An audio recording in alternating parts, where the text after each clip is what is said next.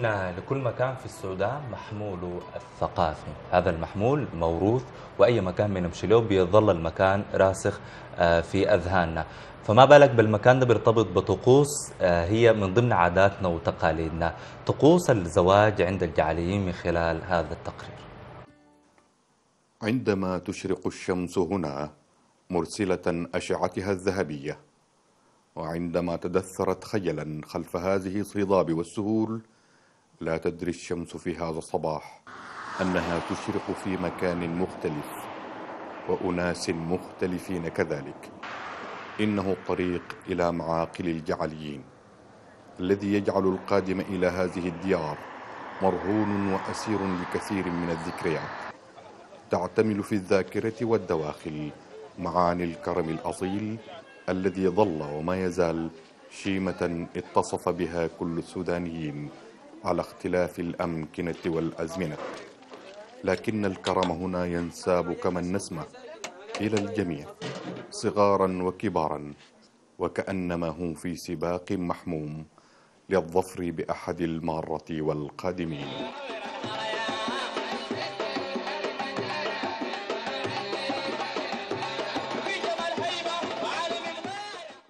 كان الحظ حليفنا حينما تصادف وجود الشروق في مدينة شندي التي تقع إلى الشرق من أكبر معقل لقبيلة الجعليين. تصادفنا هنا مع مراسم زواج بالمنطقة. فكان فرصة لنا لنقف عن قرب على تراث وتقاليد الزواج وعادات أهل المنطقة في طقوسه المختلفة.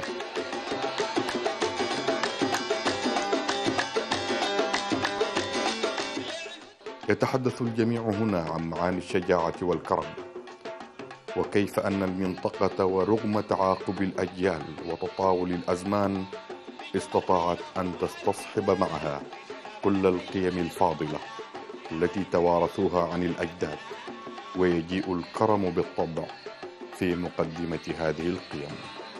الإيقاعة الحماسية سمة مميزة للتقليد هنا خاصة في مناسبات الاحتفاء بالزواج. فما أن يهم أحد شباب المنطقة بالانتقال إلى حياة الزوجية إلا وتنداح الأفراح أياما بلياليها. تزينها دفوف الحماس وقطع مختلفة الأحجام والأوزان. تشكل ما بات يعرف بإيقاع الدلوكة.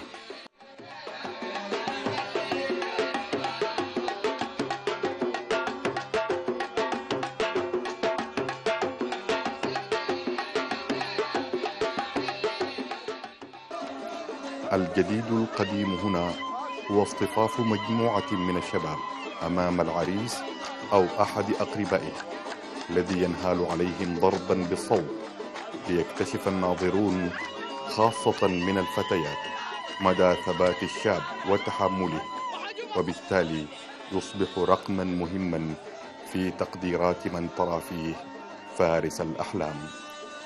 فالشجاعة هنا ركن أصيل وإحدى المحفزات الرئيسة لكل من يريد الاقتران بأي فتاة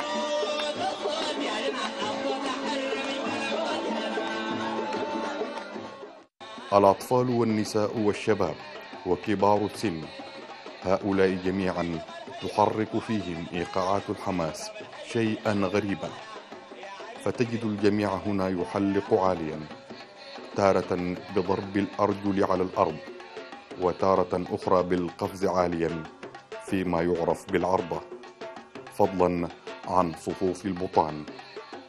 وهي جميعها حركات تعبر عن الفرحة بمشاركة العريس في مناسبته السعيدة.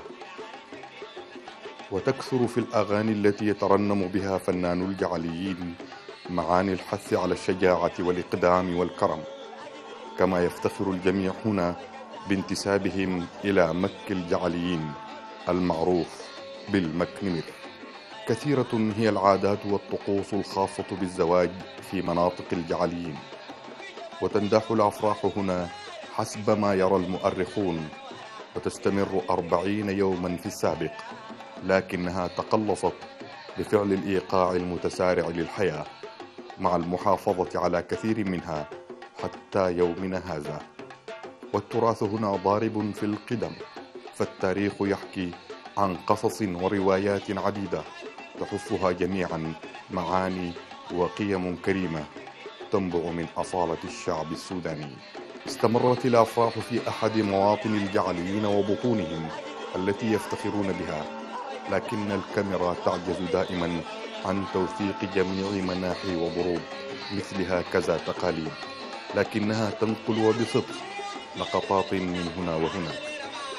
ونحن نهم بمغادرة المكان. استوقفنا هذا المنعطف التاريخي الأصيل. إنها آثار المصورات الضاربة في القدم. وها هي آلاف السنين تمضي وتظل هذه الشواهق تعانق السماء في كبرياء وأنفة تحكي عن حضارة قلما توجد في موطن آخر. وها هي الشمس تميل إلى الغروب. وكأنما تريد وداعنا من بين قصور المصورات إلى الجنوب الشرقي من مدينة شندي التي تضم معبدي الشمس والأسد. لتقول إن التاريخ يظل حاضرا في هذه المضارب وإن الإرث الذي حاولنا سبر أغواره ظل ممتدا لقرون خلت فتركنا المكان المهيب وفي النفس آمال بالعودة مرة أخرى.